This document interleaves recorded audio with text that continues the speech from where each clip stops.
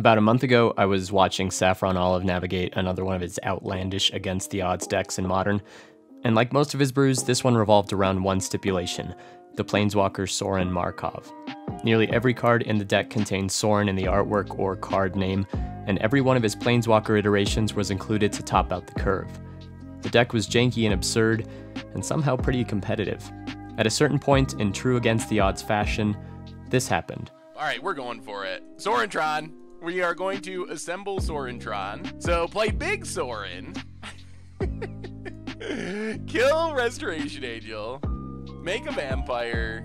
Make a vampire. Pass the dirt. Opponent. What do you got, opponent? I think I think we might be good now. It got me thinking on a meta level about the suspension of disbelief in magic.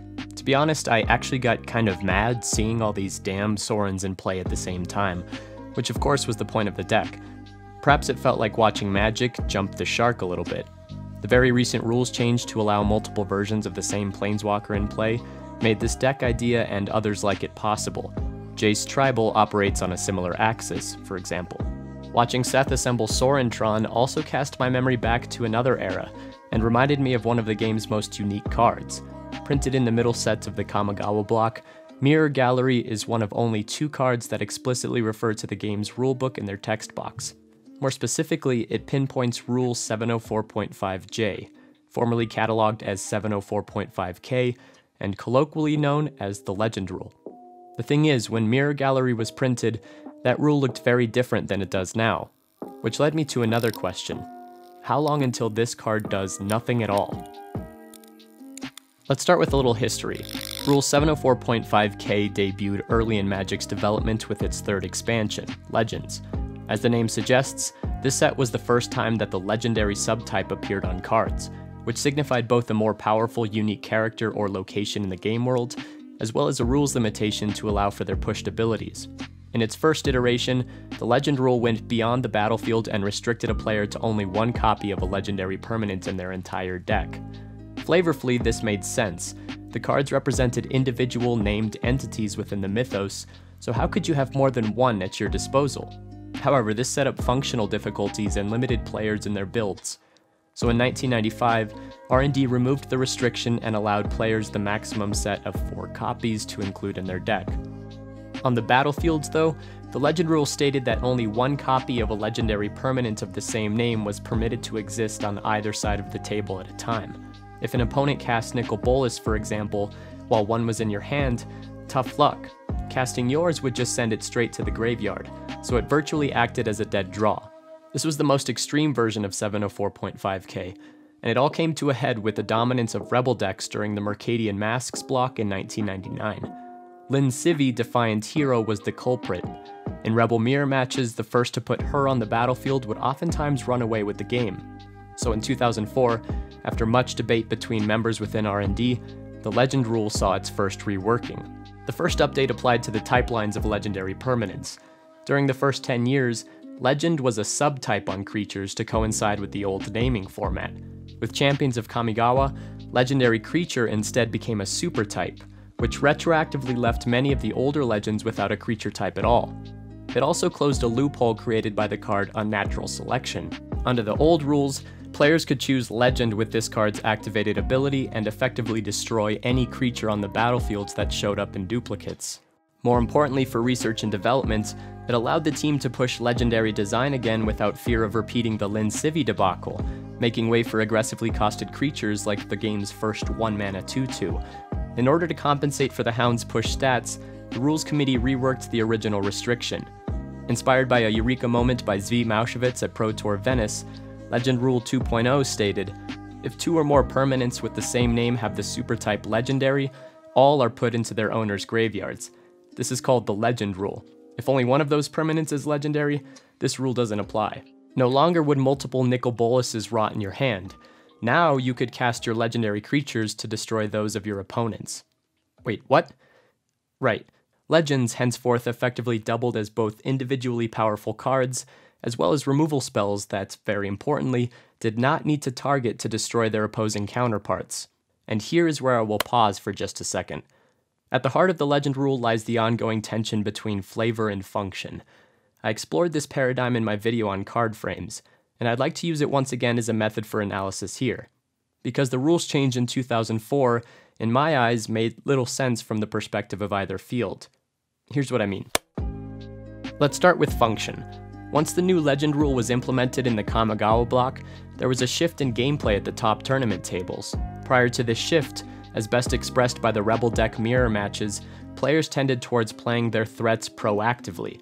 The punishment pre 2004 was being conservative with your legendary permanents, since doing so turned them into blanks in your hand. After Kamigawa, though, aggressive decks suffered, and players who exercised a little bit of patience could oftentimes emerge with a significant tempo advantage if their opponents became too ambitious. Imagine, for example, being on the draw in the mono white mirror match. Your opponent plays his Isamaru on turn 1 because that's what his deck wants to do. You do the same, except yours doubles as a murder for 1 mana. So not only were legends pushed, but they also gained hidden text. To recall that old drafting acronym BREAD, legends could double as both bombs and removal in the right situations. Another result, then, was that tournament players started including the most played legendary creatures into their sideboards for the sole purpose of destroying their opponent's game plan regardless if that creature was effective at all in the core shell of their deck. And that's just an oblivion ring for Geist of St. Traft. Yes. I think the most problematic expression of this shift in functionality caused by the reworked legend rule took shape during Innistrad Standard, during which Geist of St. Traft doubled as a win condition and a kill spell. Geist, Geist. Oh, Away they go. Or, as Nate explained it back in 2013, In Game 2, Stern summoned the one and only legendary Geist of St. Traft, and though it was protected by a hexproof force field, Utter Leighton got rid of the Geist by summoning his own one and only legendary Geist, which, upon seeing itself on Stern's side of the battlefield as well, caused a rift in the space-time continuum such that both Geists disappeared. Then Stern resummoned the Geist, and with the same paradox, Utter Leighton vanished it yet again. Vendilion Clique was also a culprit of exploiting the legend rule, as reactive blue players could kill opposing Cliques and still receive the enter the battlefield effect as a bonus. Now, the reason they're going to place it in the graveyard, uh, Vendilion Clique, even though it's a 3 mana 3 1, is actually a legend. Yes, it's not Vendilion, comma, the Clique, which is how you would often think of it as being a legendary, but yep. The legend rule, as soon as you, they see each other, it's like, eek, something wrong with the temporal rift, out of here. And Phantasmal Image became an unstoppable sideboard card in any deck with blue for the same reason.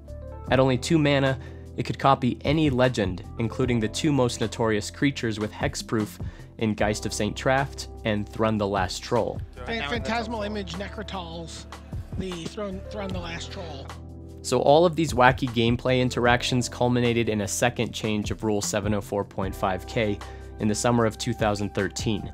The new rulings fixed the functional flaw of the 2004 iteration, namely by removing the hidden kill spell components built into every legendary card, but they left flavor in an even stranger spot than before. Up until that point, flavor was the reason for the existence of the rule in the first place, but once function took over design philosophy, it shifted the paradigm into unbalanced territory. Once again, Nate said it best. This is like really weird, right? Rosewater. Only he and his minions are powerful enough to alter the rule of legends. Just go with it. Just go with it is what we learned to do. The new legend rule essentially divided the play space in half, which meant that it only checked for two or more copies of any legendary permanent under the control of the same owner. No longer could clones like Phantasmal Image act as quote unquote situational killing machines. However, this meant that two Geists could battle against one another without opening another rift in the space time continuum. This was immediately seen as a huge flavor fail. But let's take a step back for a second and really assess what is going on in a normal game of Magic. Over the years, I've learned that arguing in favor of flavor quickly devolves into a circular loop of logic that can never really stand on its own. On one hand, the game maintains a certain level of coherence within its context. It is acceptable to suspend disbelief, but only to an extent. It's not a stretch to imagine being all powerful, wizard like entities that summon spells and use magic to do our bidding. Yeah, in the macro, that works. But zooming into the specifics, the game very quickly becomes so absurd that it's hard to maintain that illusion, and furthermore rely upon it to dictate design. If you really think about it, the third version of Rule 704.5k that allowed two Geists to look at one another is quite tame to what often happens in Magic. This became clear to me a couple of years ago while listening to Jason Alt's riff on Brainstorm Brewery about the disjunction created by having Kaladesh and Innistrad in the same block, leaving me in stitches in the process. And how could those sets even work together? It's like, well, I'm from a plane where it's 1532 Germany and we got pitchforks, and what the fuck is that? oh, it's a smuggler's copter. Would you like to crew this? And then it crashes because they don't understand arithmetic because they're farmers. You can't have a creature from Innistrad block flying a fucking copter around. I don't get that. Flavor wise. Is that what you want crewing your flying vehicle? Yeah, it is a sound argument that Nicol Bolas should be a unique game piece. There is only one of him after all. But when you ask me to take this a step further and entertain the idea of a giant dragon wearing boots and wielding three swords despite having only two arms, and that such an almighty beast cannot succumb to the resolve of a lone dove void of magical powers, well,